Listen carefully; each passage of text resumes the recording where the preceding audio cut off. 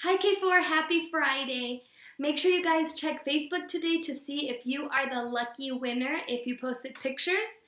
Um, so go ahead and go check that out tonight at 8 o'clock. They're going to be picking out of the raffle, okay? So today we are going to review our letter S and our letter T, and we are going to practice writing them, all right? But before we get to our board work, I want us to go over our blend letters. And we are going to start with the letter S in seal, okay? So there's only one vowel, so what does it say? It's long sound or it's short sound? It's short sound, very good. So let's go over it. S, a, sa, s, e, se, s, i, si, s, a, sa, s, a, sa. Now we're going to do it faster. We're not going to sound every sound out. We are just going to read it, okay? Sa, se, si, saw, sa. Nice. Now we're going to do the back. Ready? Sa, si, saw, sa, and Se, very good. All right, now we are going to do our letter T like a t t tiger. Again, there's only one vowel, so it says it's short sound. It should have a happy face on top. Ta, te, ti, ta, ta. Very good. Now let's do the tricky one. Ready? Ta, ta, T.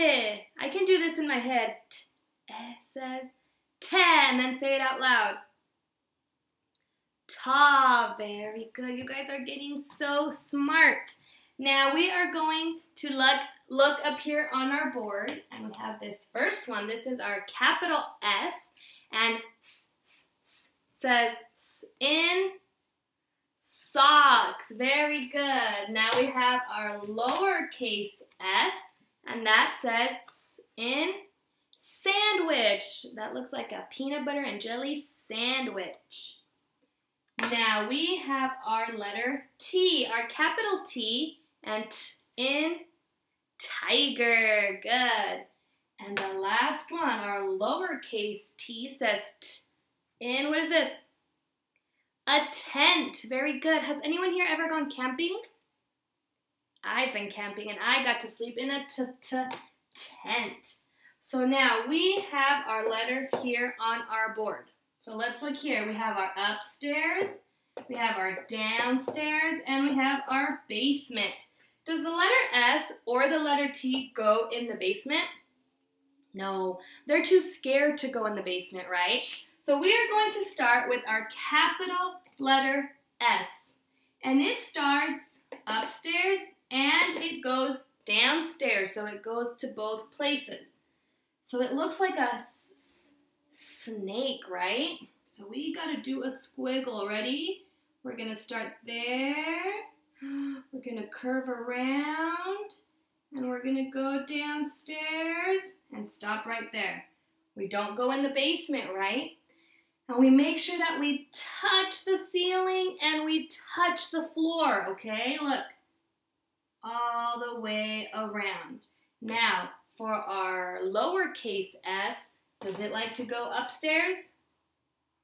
Does it like to go downstairs? No, it only stays, I mean, it doesn't go in the basement, sorry. It does go downstairs. It only lives downstairs, not upstairs and not in the basement.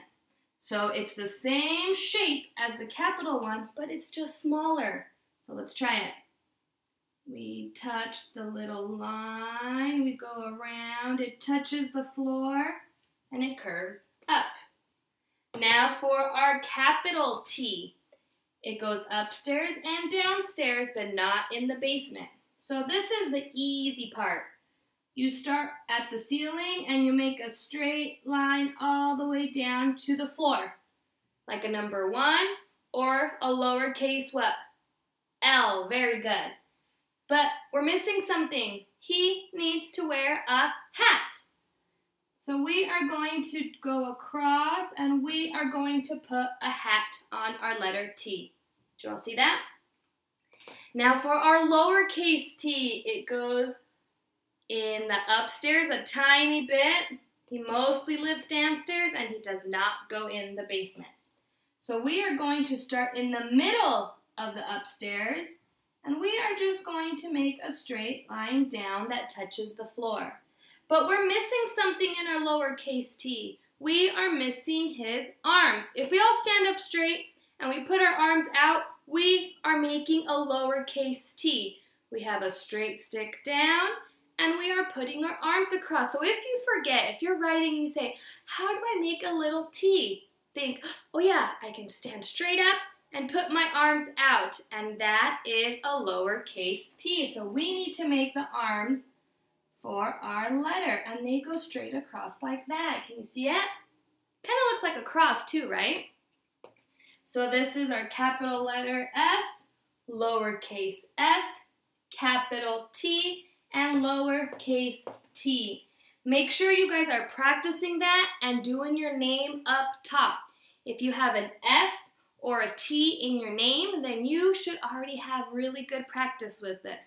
I can think of Juliet, that has a T in their name. Who has an S?